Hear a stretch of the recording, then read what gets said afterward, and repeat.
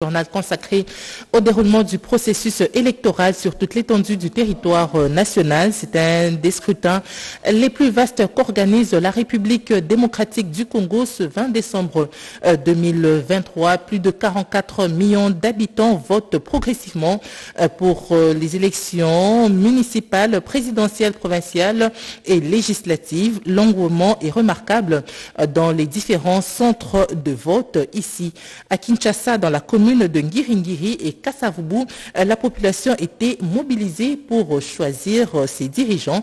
C'est un reportage de Gaëtan Magalano. L'école Lembo sur croisement Sando à Gambela, l'un des centres de vote de Kinshasa. Ici, l'atmosphère est calme en attente de l'ouverture de bureaux de vote. Dans chaque salle, on peut apercevoir de la présence d'un isoloir le personnel de la CENI attaché à ces centres met le boucher double pour lancer cet exercice républicain. Le compte à rebours a commencé. Si la machine à voter est déjà présente dans l'isoloir, la foule devant cette école s'impatiente. Jean-C. Abedi, nouveau majeur, il a hâte de glisser le nom de ses candidats dans l'urne. Voter c'est un droit et j'ai juste très hâte de de choisir mon candidat, de choisir la personne à qui je veux laisser le pays. Pour avoir part à cette rencontre avec l'histoire, une liste a été dressée par cet officier de la police pour respecter l'ordre d'arrivée et éviter de débordement. Ici, par contre, au centre situé au croisement des avenues Kazavubu et Chaba, les éventuels électeurs sont affichés sur une liste. Ici, par exemple, dans ces centres, plus de 5000 électeurs sont attendus, des électeurs qui vont devoir choisir le futur président de la République, de députés provinciaux, de députés nationaux, aussi de conseillers communaux. Sidam pose enfin son bulletin de vote dans l'urne comme ses autres candidats tout sourire. Ils bien, la machine est rapide. Hein. Ceux qui da babiloni ya bato oyo kovote déjà so oponi babimisi babiloni na bango soki elongi mwana te kobeta à la télé de victoire, engouement dans la salle, ces différentes personnes accomplissent leur devoir. Euh, il y a un problème vu le nombre de candidats et si vous faites une erreur, vous allez tourner sur la machine pendant longtemps. C'est un, un, réel handicap. Deux fois, vous êtes stressé et vous appuyez n'importe quel nom pour partir parce que il y a beaucoup de gens qui attendent. Au chapitre de doléances, Sidam plaide pour plus d'assistance aux malades, femmes enceintes et personnes de troisième âge. Par exemple, aza malade simba azozonga nango une journée décisive pour ces déterminés à choisir leur futur dirigeant. Et la population de la commune de Calamon s'est présentée devant les bureaux de vote pour remplir également euh, son devoir euh, civique. Marceline Omba, candidate députée nationale euh, de la FUNA, a déjà voté. Suivez cela dans ce reportage. Les centres de vote envahis tôt ce matin par des électeurs prêts à remplir leurs devoirs civiques. Au centre Monseigneur Moquet dans la commune de Calamou et à l'école Jean-Jacques Rousseau dans la même commune, la population s'impatiente en attendant l'installation des machines à voter et isolée c'était vote na 6 h jusqu'à 17 h selon la CENI le vote devrait commencer à 6 h du matin jusqu'à 17 h mais jusque là l'organisation n'est pas encore prête. On se demande si la CENI respectera l'heure prévue des 11 h du temps de vote na le comité donc tokobanda heure nini estce ekosala lisusu 11 heure oyo ezalaki prévu mpo bato bavote ou bien bakokangaka 17 heure wana? Bon nga nalobi toye awa tokuti bamateriel eza incomplet Nous déplorons le non-respect de l'heure. Je suis personnel soignant. Il fallait que je vote afin d'aller relever mes collègues de service. Tant que nous n'avons pas voté, nous ne partirons pas d'ici. Soki balobi tobanda kovote na 11 soki tosili te tokokende mpe te. Tokovanda ti bakolala mpe pongi awa. Au centre La Fleurette, dans la commune de Kassavoubou, le vote se déroule normalement à la grande satisfaction des électeurs, soulagés après avoir fait le choix en toute discrétion. Je suis venue voter pour remplir mon devoir civique en tant que citoyenne congolaise et pour dire aussi à tout le monde que le vote est bel et bien là parce qu'il y a déjà l'engouement. Vous voyez derrière moi, nous sommes déjà là, il y a les, machines dans les bureaux de la CENI. Donc, le vote est là, venez voter pour remplir votre devoir civique aussi. Je crois que les Congolais voient qu'aujourd'hui il y a des élections. Comme on avait vu dans les réseaux sociaux que euh, Félix ne saura pas organiser les élections, mais chose dite, chose faite. Nous sommes au niveau de Monseigneur Moquet. Les élections sont bel et bien là. Vous voyez la population qui sont déjà là. Il y a les machines qui sont déjà installées.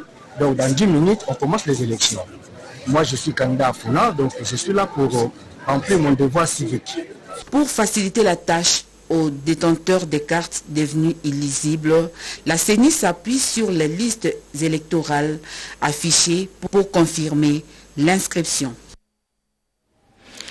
Et dans la commune de la Gombe, Eurydice Kitutu a fait le tour de quelques centres de vote pour décrire la situation sur le terrain. Nous sommes ici euh, au centre du Lupio où l'opération a commencé à 7h45. Alors, les premiers votants ont déjà euh, effectué l'opération, c'est-à-dire euh, le bureau, quand le bureau a ouvert, ils ont commencé par l'installation de matériel et puis ils ont passé par l'affichage des listes des listes des personnes qui se sont fait enrôler ici au centre euh, du Lupio. Et euh, évidemment, le premier votant était les, membres du bureau de, la CENI et par la suite, euh, les membres du bureau ont fait appel aux électeurs. Alors, les électeurs sont là depuis 14h30. on appelle selon la liste des personnes qui se sont inscrites depuis 4h30. Donc il faut dire que les personnes sont arrivées, les électeurs sont ici depuis 4h30. Donc tout le monde est déterminé à passer cette opération ce 20 euh, décembre. Alors, le bureau appelle selon l'ordre alphabétique. Donc les listes sont affichées selon l'ordre alphabétique. Donc les gens se dirigent selon l'ordre alphabétique et l'opération ne dure pratiquement plus ou moins 5 euh, minutes. 5 minutes et vous avez fini l'opération et euh, ainsi de suite. Les autres euh, font des fils selon là où leurs noms sont affichés.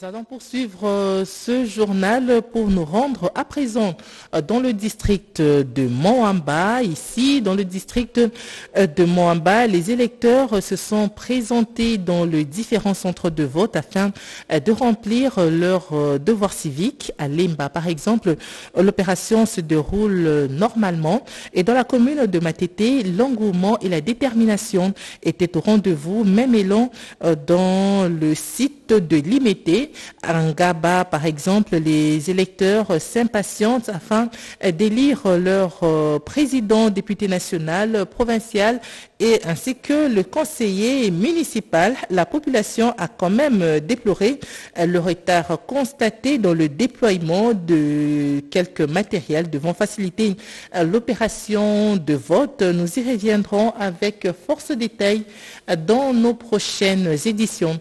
Pendant ce temps, nous allons nous rendre à Kimpese. Kimpese c'est dans la province du Congo central. Ici, les bureaux étaient ouverts depuis 6 heures. Nos reporters, reporters sur le terrain, Françoise Bolabouaki et Pompon Umba, ont rencontré certains observateurs avec qui se sont entretenus. Regardez. Voilà, nous sommes ici à l'épée Nzolo, à Kimpese, au territoire de Songololo. Selon le témoignage, euh, depuis 6 heures du matin, ce centre était ouvert et euh, le personnel de la CENI a rassuré tous les électeurs qui étaient déjà devant cette porte d'entrée et ont commencé par les rassurer en présentant euh, les urnes vides, comme les témoignages nous ont été relatés. Donc ce centre compte euh, près de 12 euh, bureaux de vote et tout se fait dans la sérénité. Nous avons eu l'occasion de parcourir certains bureaux pour se rassurer du déroulement de, de ce vote. Donc sur ce site, tous les électeurs qui sont sur ce site ont envie de voter et se font aider en cas de nécessité. Et le, président de ce centre nous a rassuré que toutes ces équipes sont formées pour patienter, pour accompagner, pour aider ceux qui ont besoin euh, d'un soutien pour accomplir leurs devoirs civiques. Donc c'est un grand jour, un jour de l'expression démocratique pour tous les Congolais, surtout les nouveaux majeurs qui se sont enrôlés pour finalement voter un président de la République, voter les députés nationaux, les députés provinciaux, mais aussi les conseillers euh, municipaux à certains endroits. Depuis ce centre à Kimpese, Françoise Bouela, Pompon Umba pour la RTNC. Et dans la province de la Chopo, le matériel est déployé. L'opération de vote a déjà débuté. Max César Locaté nous fait le point. Bonjour mesdames, mesdemoiselles, messieurs, chers téléspectateurs et auditeurs de la radio-télévision nationale congolaise. C'est parti pour euh, le vote dans la ville de Kisangani, chef-lieu de la province euh, de la Tchopo. Euh, c'est madame le secrétaire exécutif provincial de la CENI, Emelia, qui a donné le go du scrutin de ce 20 décembre 2023. C'était en présence de madame le gouverneur de province, Madeleine Nikomba Sabangou. On était justement à l'épée Maleke dans la commune de Kabondo à 6 km du centre-ville. Et après l'épée Maleke, là où il y a euh, deux centres avec 12 euh, euh, bureaux, nous sommes passés au niveau du complexe scolaire La Sagesse, toujours dans la commune, là c'est dans la commune de Kisangani, et où il y a 13 bureaux avec deux centres. Au moment où nous parlons, nous sommes à l'Institut supérieur pédagogique de la ville de Kisangani, où, vous le constatez vous-même, il y a un engouement terrible à travers moi ici. Les gens se sont présentés tôt le matin. Je parie même que c'était déjà vers 6 heures que les gens se sont présentés ici pour venir poser cet acte civique et patriotique.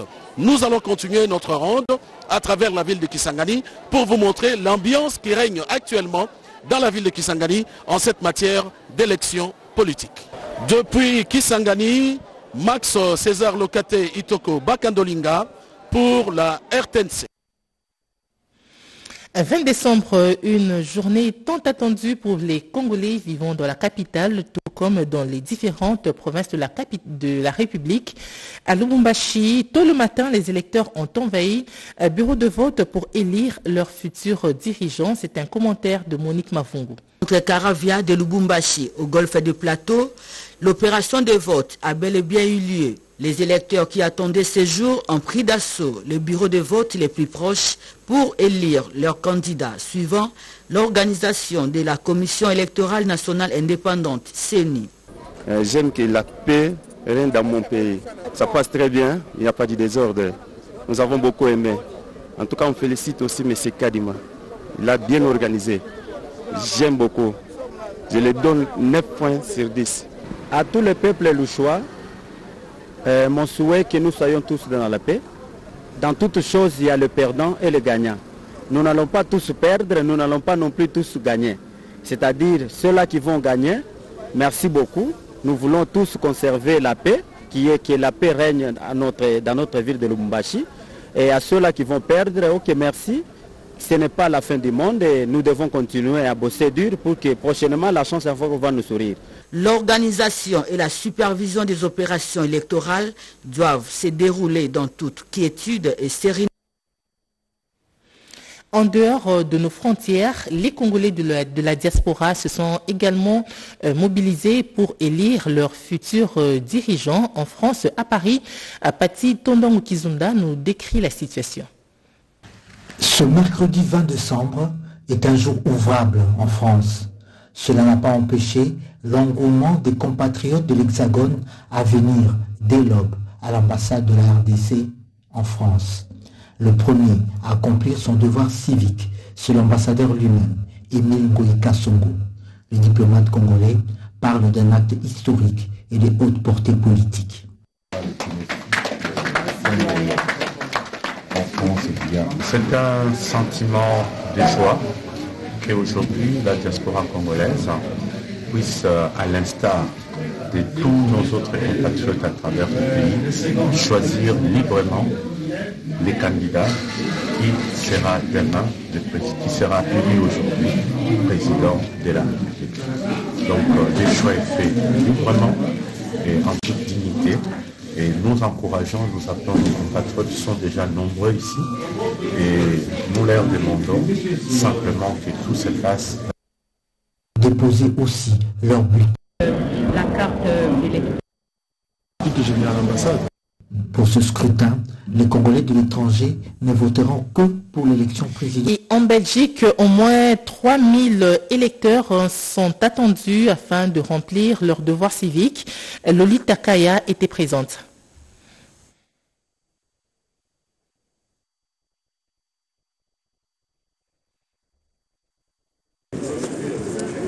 3105, c'est le nombre d'électeurs inscrits ici à Bruxelles. Nous sommes à l'ambassade de la RDC en République démocratique du Congo. Vous voyez sûrement euh, la file est longue. Euh, les Congolais euh, sont venus nombreux pour pouvoir voter leur président, car vous le savez, c'est historique, c'est la première fois que la République démocratique du Congo vote à l'extérieur, c'est-à-dire la diaspora congolaise. Le bureau est ouvert depuis 7 heures. Ils auront les mêmes chances que ceux qui sont au pays, ça veut dire que ça devra fermer à 18 heures. Et donc, on va voir s'il y a des dérogations qui seront accordées. Sûrement qu'on pourra atteindre euh, ce chiffre-là ou même le dépasser. Il est midi ici à Bruxelles, mais euh, ça ne désemplit pas. Les gens continuent d'arriver. Euh, il faut noter qu'ici, c'est une journée ouvrable et donc beaucoup ont pris un congé pour pouvoir venir voter ici le président de la République démocratique du Congo. Nous reviendrons voir vous pour vous donner d'autres informations prochainement. Mais pour le moment, eh ben, sachez que nous sommes encore ici à l'ambassade de Bruxelles, Lolita Kaya, pour la RTNC. Le vote, c'est aussi à Katakokombe, dans la province du Sankourou, où euh, le ministre et le ministre des Affaires étrangères est allé accomplir son devoir civique. Reportage. Katakokombe, la population s'est réveillée aujourd'hui 20 décembre avec une ferme détermination de remplir son devoir civique, aller voter, donner au pays de nouveaux dirigeants à l'Assemblée nationale et un nouveau président de la République. Ici, comme chaque période électorale, les élections se déroulent en toute quiétude. Les vice-premiers ministres, ministre des Affaires étrangères et francophonie, Christophe Lutundula Palapena Pala, qui a lui aussi voté à Katakokombe, a remercié la population pour la discipline. C'est la satisfaction évidemment d'avoir accompli mon devoir de citoyen. C'est la, satisfaction aussi de voir que euh, contre vents et marées, malgré euh, nous sommes parvenus à organiser les élections pour consolider notre démocratie. Mon vœu le plus ardent est que ces élections se déroulent dans les calmes, particulièrement à Katakokom où nous n'avons jamais eu de problème de violence. Euh, en tout cas, c'est très très très limité des cas négligeables et que nous puissions à chaque, à chaque scrutin améliorer la qualité de notre démocratie et voilà quoi, c'est ce que je dis à la population, du calme, de la sérénité, aux agents publics la neutralité, aux agents électoraux la neutralité, l'indépendance. Voilà, c'est ça qui va faire euh, la réussite de la démocratie et euh, une bonne image de la RDC euh, à l'extérieur et de nous qui dirigeons vis-à-vis du peuple. D'ici ce soir, la discipline devra certainement continuer jusqu'au dépouillement. Ici à Kinshasa, l'archevêque de Kinshasa, le cardinal Ambongo, a également euh, procédé à cet exercice de vote. Et pendant ce temps, le chef spirituel de l'église kimbongiste a également euh, prêché par euh, l'exemple tôt le matin à 6 heures. Il a également procédé à cet exercice de vote. Regardez. Enfin, le 20 décembre, l'image est historique. Le cardinal Ambongo glisse son bulletin de vote dans l'urne. Le message est lancé d'une manière explicite, comme pour dire tous aux urnes. Mais j'ai passé plus ou moins 5, minutes, plus ou moins 5 minutes. C'est parce que j'avais préparé mes numéros quand on entre et puis on a pris immédiatement. Mais pour quelqu'un qui n'est pas habitué à la machine, je crois qu'il peut mettre plus que moi. À la population, ben, le souhait, c'est que tout citoyen congolais qui est en droit de voter, qu'il vienne exprimer sa préférence pour ses dirigeants. Je ne suis pas pour euh, cette politique de rester à la maison parce que j'ai entendu beaucoup qui se disent mais à quoi ça sert, à quoi ça sert. Je ne crois pas que ce soit une bonne politique. Il faut aller, si tu es d'accord avec quelqu'un, tu exprimes. Si tu n'es pas d'accord, tu l'exprimes aussi. Et c'est ça la démocratie. Les ecclésiastiques servent d'exemple pour la masse. Les chefs spirituels de l'église kimbanguiste sont l'éminent Simon Kimbangu, du haut de la plus grande église autochtone du pays, a exercé également son droit des votes. Deux figures essentielles de la vie religieuse, deux messages convergents pour cimenter l'unité nationale.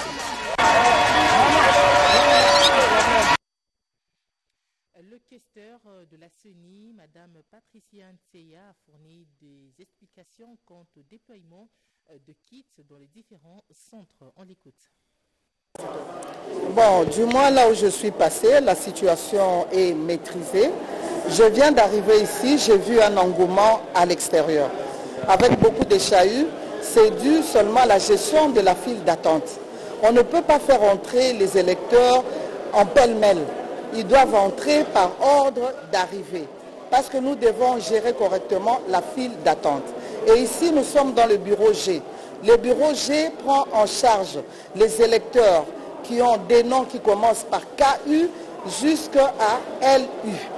C'est ça la règle. Alors, ils sont en train d'entrer au fur et à mesure. On m'a dit qu'il y avait une panne ici. Ce n'était pas une panne. C'était un bourrage de papier vous l'avez constaté. Ce n'était pas une panne, on n'a même pas besoin d'appeler un technicien, il fallait seulement enlever le papier et le TICV, il a pris ça en charge. Après qu'il ait pris en charge, vous avez vu que le vote a continué. Donc pour ceux-là qui ne savent pas utiliser les bulletins, il faut qu'on leur dise à l'entrée comment est-ce qu'ils peuvent utiliser les bulletins. Parce que ce n'est pas tout le monde qui comprend peut-être l'utilisation de ce bulletin. Ils le font entrer, ils le tirent eux-mêmes. Il faut leur dire de ne pas tirer les bulletins quand ils le font entrer. La machine elle-même va retirer le bulletin. Et c'est le seul problème qu'il y a eu. Il n'y a pas de panne. La situation est maîtrisée. Et tout est calme dans ce bureau de vote. À Bobokoli, dans la commune de Ngaliema, on signale un engouement total avec le retard accusé. Des récupérations seront organisées afin d'améliorer l'opération de vote. Bobette et À Ngaliema, circonscription électorale de la Lukunga, précisément à Delvaux, dans ce centre électoral de Bobokoli, l'engouement est au rendez-vous. Les électeurs viennent de partout et tiennent Étienne Mordicus a voté à l'instar de cette candidate. C'est un devoir important, c'est devoir citoyen. C'est celui qui donne à chaque peuple congolais la possibilité de renouveler ses dirigeants. Je viens d'accomplir le mien, mon pouce faisant foi. Je dirais qu'il faut absolument que chaque Congolais aujourd'hui quitte sa maison, quelles que soient les circonstances, pour voter son candidat président, pour voter son candidat député national, son candidat député provincial et son candidat conseiller municipal pour permettre à la République d'être gérée. Le de ce centre souligne quelques imperfections à la base d'un léger retard dans les opérations de vote. A été reçu avec un grand retard. Nous avons reçu le matériel à 3h30 pour mon bureau ici. Alors l'état d'aménager, de vérifier les documents, tout ça, c'est ainsi que nous avons commencé les opérations au-delà de l'heure prévue. Mais actuellement, ça va. Concernant les témoins et les observateurs électoraux, ils se relayent toutes les 15 minutes dans chaque bureau de vote une organisation euh, locale de ce centre. Et pour terminer, Nanou Umba était aussi dans la commune d'Ungaliema, plus précisément au centre Saint-Léopold, dans la circonscription euh, de la Lukunga, où à 7 heures déjà, les bureaux étaient déjà ouverts. L'engouement est total. Regardez. Mercredi 20 décembre 2023, les Congolaises et Congolais se sont réveillés ce matin pour accomplir leurs devoirs civiques et démocratiques pour élire les nouveaux dirigeants du pays à tous les niveaux. L'équipe de la radio-télévision nationale congolaise est descendue dans les différents sites électoraux dans la circonscription de la Lukunga pour s'assurer de l'effectivité des votes. Ici, à l'église Saint-Léopold, ex-Jean 23, depuis 7 heures du matin, la population est déjà là pour exercer leur devoir de vote. En élisant leurs futurs dirigeants, les personnes du troisième âge votent tout comme les nouveaux majeurs. L'équipe de la CENI, les observateurs, les témoins sont au rendez-vous et ils ne jouent que sur la transparence du processus. Même constat au complexe scolaire Le Loupio, où un grand nombre de personnes votent déjà. Partout où nous sommes passés, la note est satisfaisante jusque-là, dans les différents centres de vote de Kinshasa. Ce journal est terminé. Vous avez suivi dans ce journal le déroulement de l'opération de vote sur l'étendue du territoire national. Je vous le disais, c'est un, un le plus vaste qu'organise la RDC ce 20 décembre 2023. Plus de 44 millions d'habitants votent progressivement pour les élections présidentielles, législatives, provinciales et municipales. L'engouement est remarquable dans les différents centres de vote. Vous avez suivi dans ce journal le déroulement de vote à Paris ainsi qu'à Bruxelles avec nos confrères sur le terrain, Patiton Toango et Lolita. Kaya. L'information est en continu sur la RTNC. Nous disons merci à toute l'équipe qui a travaillé euh, dans ce midi actualité à la réalisation Papi Ngina Maou et Mamita euh, Bangoulou. L'équipe technique était assurée euh, par Mimi Timba, Shora Manzanza, Alain Sodi. Le prochain rendez-vous rendez avec l'actualité, c'est tout à l'heure à 19h dans une présentation de Jemima Mogo, 20h, Sandra Nyangitabo. Excellente suite de programme sur nos antennes.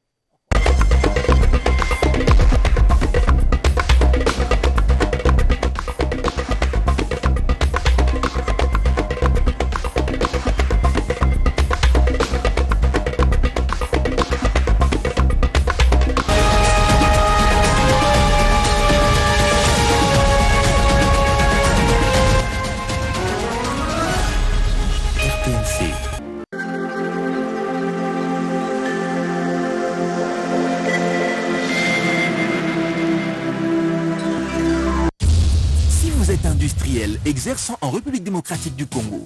Rassurez-vous que vous êtes assujetti au paiement de la taxe de promotion de l'industrie locale TPIL pour les ventes de vos produits sur le marché local. Dans ce cas, collectez et reversez mensuellement la TPIL au taux de 2% du prix du revient industriel. C'est contribuer à la pérennisation du cycle de financement des projets industriels en RD Congo. Tenez, la TPIL est une parafiscalité préaffectée au financement des projets industriels. Ceci est un message du Fonds de promotion de l'industrie. Votre partenaire privilégié pour la suite de vos projets. Découvrez votre application MyAfriCell. Accédez de manière rapide et facile à tous les services d'Africell et à toutes vos données à partir de votre mobile grâce à l'application MyAfriCell. Comment s'inscrire? C'est très simple. Téléchargez l'application MyAfriCell sur Apple Store ou Google Play, créez votre compte et obtenez un giga gratuit. Profitez aussi d'une tarification spéciale pour tous nos forfaits. MyAfriCell est le raccourci le plus pratique pour effectuer toutes vos opérations tout en profitant de la meilleure connexion Internet 4G d'Africell. Pour plus d'infos, www.africell.cd slash app. Africell, le réseau du peuple. Votre réseau. De l'inédit. Ici, on ne présente pas seulement la convivialité. On l'accorde à tous nos clients selon leurs préférences. Un lieu où l'on consacre toute l'attention à votre bien-être. On ne présente pas seulement le confort, on l'offre de la plus belle des manières. C'est ici le meilleur lieu de repos et de séjour dans nos chambres spacieuses, avec une wifi. Les dernières trouvailles culinaires sont magnifiées par des professionnels amateurs de retrouvailles et des rencontres dans nos différents bars. Chez nous, c'est toutes nos équipes qui sont mobilisées. banda kala nalingaka kolamba. Eza ndenge na nga kolakisa bato ndenge nalingaka bango. Spesialite na nga eza mapa ya manteka. Eza mpasi te kosala soki oponi biloko ya malamu mpe ya kitoko. Mpe mpo na wana naza na sekele na ngai